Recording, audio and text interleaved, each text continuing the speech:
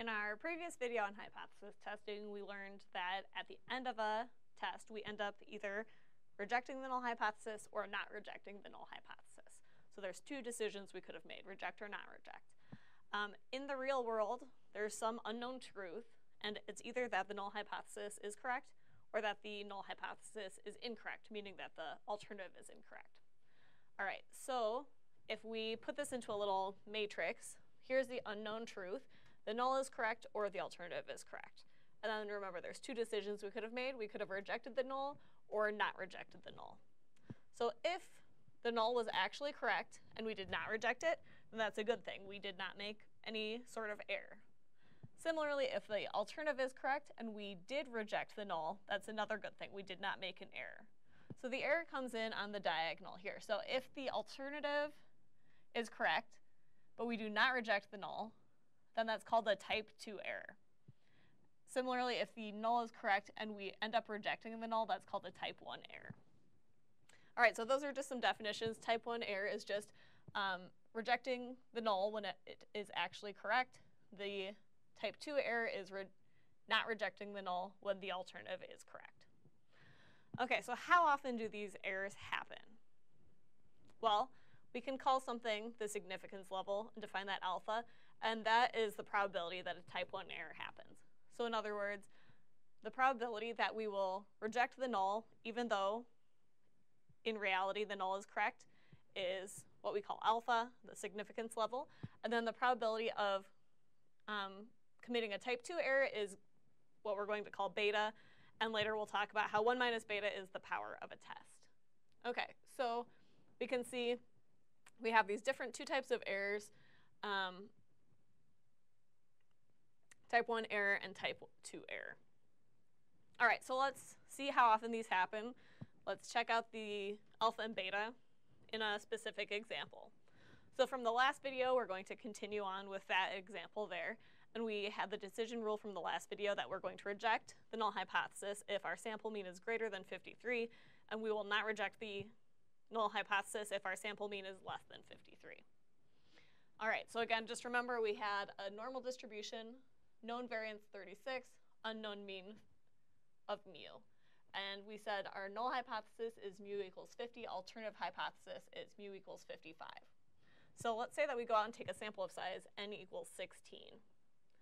All right, so we're trying to figure out if we have a sample of size n equals 16, what's the probability that we will mistakenly reject the null hypothesis? Similarly, if we have a sample size of n equals 16, what's the probability that we will mistakenly not reject the null hypothesis? So those are alpha and beta respectively. Okay, so first let's start with alpha, the probability of a type 1 error. In other words, the probability of mistakenly rejecting the null. The probability of rejecting the null given that the null is actually true. Okay, so this is just the very general definition of alpha. Um, let's plug in what our null hypothesis is in our case. So in our case, our null hypothesis is mu equals 50. So we go ahead and plug that in there. So we have the probability of rejecting the null given mu equals 50. But we have that decision rule, so we can also write, instead of reject null, we can write what our decision rule is. Our decision rule said reject if x bar is greater than or equal to 53. So we can go ahead and write that here. The probability that x bar is greater than or equal to 53, given that in reality mu equals 50. That's what our significance level alpha is. All right, but we can take this further. We can actually crank this down to a single number. So if we go ahead and define a random variable, z, that is standard normal. So let's go ahead and subtract and divide by the same quantity here on both sides. So if we subtract 50 from both sides and then divide by the standard error of x bar, in other words, we have the square root of 36 divided by the square root of the sample size 16. So in the denominator, we've divided, so we've divided by 6 over 4 on both sides. All right, so we've just done the same manipulation to both sides, to both x bar and 53. So we have the probability that x bar minus 50 divided by 6 over 4 is greater than 53 minus 50 divided by 6 over 4. Given that in reality, mu equals 50. Okay, but this is actually a standard normal random variable because we've subtracted off the mean, which in reality was 50, and we've divided by the standard error of x bar. So this is actually just a standard normal random variable, which we called z. So now this is equal to the probability that z is greater than or equal to 53 minus 50 divided by 6 over 4. All right, so this is just equal to 2. So our probability of committing a type 1 error is just the probability that a standard normal random variable is greater than or equal to 2. All right. So here's our standard normal random variable. Here's 2.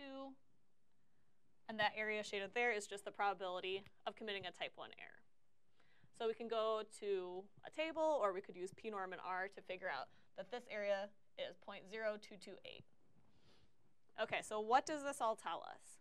This tells us that if in reality the null is true, meaning mu truly is 50, if we take a sample of size n equals 16, then about 2.28% of the time, we're going to mistakenly reject the null hypothesis. So in other words, imagine taking a sample of size 16 and then deciding, do we reject or do we not reject based on this rule? And then we do that again. We take another sample of size 16 and decide, do we reject or do we not reject based on this rule? We do that over and over and over and over and over, maybe a million times. Then about 2.28% of the time, we're going to end up mistakenly rejecting the null hypothesis. All right, so that's our probability of a type 1 error, the probability of mistakenly rejecting that null hypothesis. All right, how about beta, which is the probability of a type 2 error, or in other words, the probability of mistakenly not rejecting the null hypothesis? Well, we can calculate beta in a similar way. First, let's just start with the definition of beta. So beta is the probability that we do not reject the null, given that the null is actually incorrect. Okay, but what does it mean to not reject the null? Look at our decision rule. We will not reject the null if x bar is less than 53. So let's swap out this statement, do not reject the null, for our actual rule, x bar is greater than 53. Similarly, we can swap out the statement h naught is incorrect or the null is incorrect with what that actually means in the context of our problem here. So if the null is incorrect, then the alternative is correct, meaning mu equals 55. Okay, so we can swap out the statement the null is incorrect for the statement mu equals 55. All right, so our beta, our probability of a type 2 error we figured out so far, is the probability of seeing a sample mean less than 53, given that in reality mu is equal to 55. Okay, so it should make sense that sometimes, even if the null, sorry, even if the mean truly is 55, we know there's variability in those x bars, so sometimes we're going to end up getting a low sample mean, maybe lower than 53. Okay, so let's continue thinking about this. Let's do the same thing as here and subtract and divide by the same quantity. All right, so let's uh, subtract by 55 on both sides, and then divide by the standard error of x bar. So subtract off 55 on each side, and then divide by 6 over 4. Again, 6 is the square root of 36, and then 4 is the square root of our sample size 16. All right, so then that tells us that beta equals the probability that x bar minus 55 over 6 over 4 is less than 53 minus 55 over 6 over 4, given that in reality mu equals 55. So again, this quantity here is a standard normal random variable, right? Because we know that x bar has a normal distribution with mean 55 and then variability 36 over 16. So we've subtracted off the mean, divided by the standard error, which is just the square root of 36 over 16. So this is just a standard normal random variable. And this is just a number. It ends up equaling negative 4 over 3. All right, so that means that the probability of mistakenly not rejecting the null hypothesis when we have a sample size of 16 is equal to the probability that a standard normal random variable is less than negative 4 over 3. So maybe that's like here. So this is our beta type 2 error. So again, this is a standard normal random variable, so we can go to our table or we can use pnorm in R to figure out that this probability is 0.0913. Okay, so again, what does this mean? So imagine that the null is actually incorrect. So in reality, actually mu is equal to 55.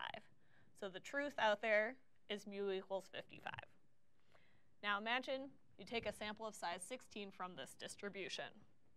You calculate its sample mean, and then based on that, you decide, okay, reject the null or do not reject the null. Then you get another sample of size 16, follow the same process, end up rejecting or do not rejecting. You do this over and over and over for some huge number of times, maybe a million, maybe 10 million, and then what you'll find is that about 9.13% of the time, you will be uh, mistakenly not rejecting the null. So the correct thing to do would be to reject the null. But 9.13% of the time, you will end up not rejecting the null, and that's incorrect because in reality, the null is not true. The alternative is true. All right, so that's a little example for our um, probability of a type 1 error here, and then our probability of a two, type 2 error there. So something to note is that we can only know what decision we're making. When we do a hypothesis test, we know whether we end up rejecting the null or whether we end up not rejecting the null. Of course, we don't know the truth. We don't know whether the null is actually correct or whether, whether the alternative is actually correct. If we did, then why would we be doing hypothesis testing at all, right? So all we can do is try to um, make this decision to reject the null or not reject the null. So since we only know whether or not we're rejecting, and we do not know whether or not the null is in incorrect or correct, then we don't know when exactly we're making a type 1 error, and we do not know exactly similarly when we're making a type 2 error. So all we know is that as statisticians going through our life, we're going to be doing lots of hypothesis tests. And what we know is that some of the time we're going to be making a type 1 error, and some of the time we're going to be making a type 2 error. We'll never know when exactly, we just know that this is bound to happen. So a good thing to know, since we know that this will definitely happen sometimes, a good thing to know would be how often are we going to be committing this type 1 error? And how often are we going to be committing this type 2 error? Okay, so um, something also to say is that error doesn't mean that we as statisticians did anything wrong. We could have crunched all the numbers correctly. We could have um, gotten perfectly a random sample. We could have done every single step correctly. And then just by random chance, we could have ended up with a sample mean that is greater than 53, or we could have ended up with a sample mean that is less than 53 just by random chance, because we know that there's always going to be that variability in our sample means. So it doesn't mean we did anything wrong when we say type 1 or type 2 error. This is just something that happens because we're statisticians and we're doing hypothesis testing. There's no way that we can avoid type 1 or type 2 errors.